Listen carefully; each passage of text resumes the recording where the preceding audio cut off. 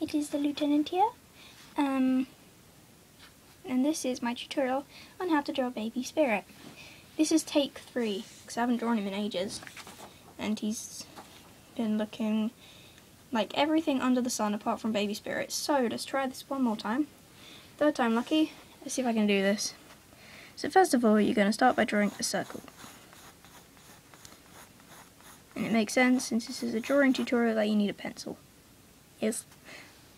And then underneath that circle, or just about joined onto it, you're going to draw another circle, apart from, but it's half the size-ish of the bigger circle. And this is his head.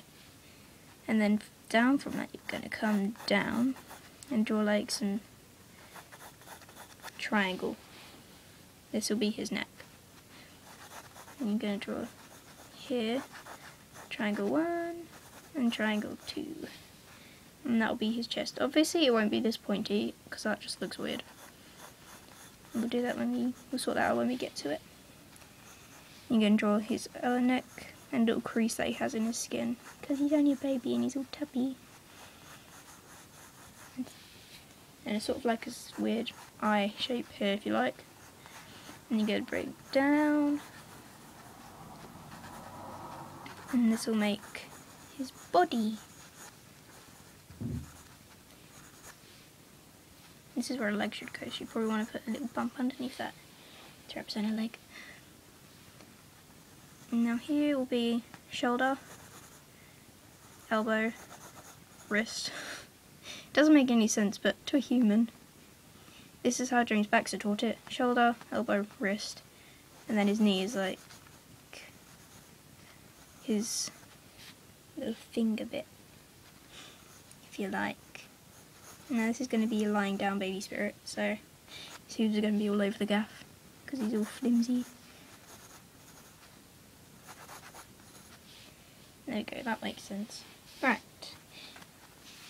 Tail. Right. So that is the outline to spirit. You can pause now and look at it if you like, because now I'm moving on to the next stage. Now you go over it. You go over the top bit of this circle, slightly harder, and then draw two little bumps on the side of it. And then after that, you'll bring it down a little bit, only a little way, to about where this circle becomes tangent, if you like, to this one. Then you do little corners of his mouth, and then he's got a nice big smile, so his bottom jaw is going to be quite low down. And that'll be his mouth. And then in this little nook, I'm going to sprout out a little, his face really. His cute little baby face. And that, I just need to sort this out. Right, that looks strange, I'll sort that out later. Right. And then, um, over here you're just gonna draw his little eyebrows. And that'll be where his eyebrows will be. And just make them a little bit thicker, because he has quite thick eyebrows. And that is a car passing by. They tend to do that. Now let's see if I can get his eyes the right size this time. The trouble I have with Spirit is getting his eyes the right size. So there's no easy way of doing it, you just got to do trial and error really. But there we go do half his face there, his eye. And then you fill in his eye. He has a little bit of shine in there, like that. And then you do it to the other side.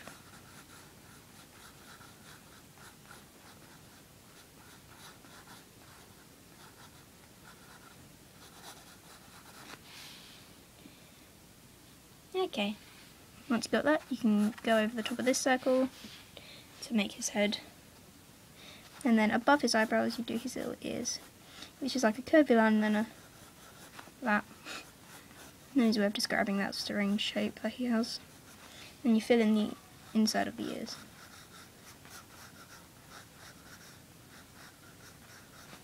There you go. Oh, he's got quite big ears now. Oh well. And now you're going to finish off his mouth by putting in some nostrils. Not his mouth, sorry, his muzzle putting in some nostrils, and a cute little smile.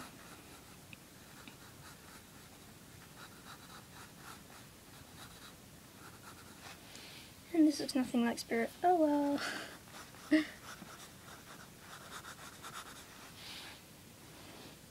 this is just a good way of getting a feel for how to draw him. And then you just basically go over the lines you've drawn for his the outline of his body. And you give him his shoulders, his chest stuff. Now from halfway in the silk crease, I'm to bring a curved line out so that it's in proportion to his body. I can't really say how long that'll be. Depends how big you're drawing him. And that'll be like that. And that'll be like, that'll be his, his back, his spine. Because he's lying down at a weird angle, like you do. Give him his hair. And then going to fill in his little, I guess going to fill it in effectively. And legs, right, legs. James Baxter taught to be big and chunky at the top, but this is a horse, so it's not going to be big within reason, I guess. And then quite thin and short at the bottom. And that's helped me remember it, and it's helped me loads with drawing spirit, even though it's not quite good yet. If I practice and get used to it again,